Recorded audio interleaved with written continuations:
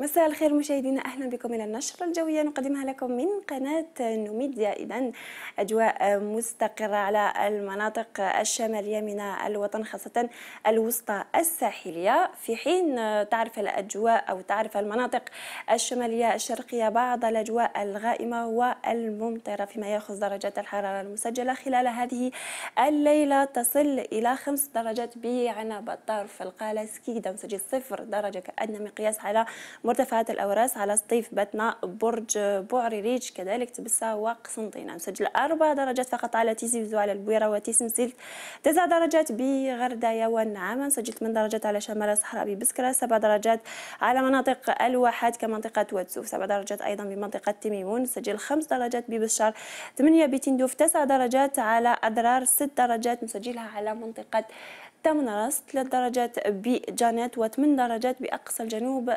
الجزائري. بما يخص حالة الطقس غدا بإذن الله إذا أجواء غائمة تماما.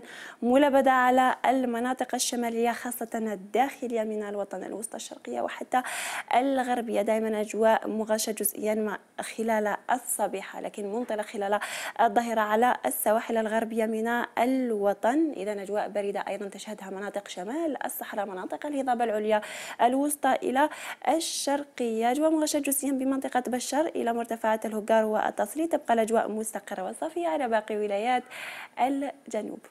إذا درجات الحرارة المسجلة خلال الظهيرة ظهيرة الخميس بإذن الله تصل إلى 10 درجات بسطيف برج باريج وهذا كأدنى مقياس بالمناطق الشمالية. مسجل 19 درجة بعنابة الطرف والقالة حتى على سكيكدا وبجاية 18 درجة على السواحل الوسطى إلى الغربية من الجزائر العاصمة إلى غاية بني صاف. نسجل 21 درجة ببشار 27 درجة على الخط الرابط بين منطقة ميمون وعين صالح 28 بأضرار ورقان 25 على تندوف 23 درجة درجة بمنطقة تماس 22 على جانيت 26 درجة على إليزي 23 على ورقلة حسيم سعودة منطقة واتسوف مسجل 28 درجة بأقصى الجنوب الجزائري على برج بج مختار وعنقزم حالة البحر إذا غدا بحول الله البحر دائما مضطرب على السواحل الوسطى والغربية. إذا سرعة الرياح قد تصل حتى 40 كم في الساعة. فيما يخص السواحل الشرقية البحر هادئ تماما.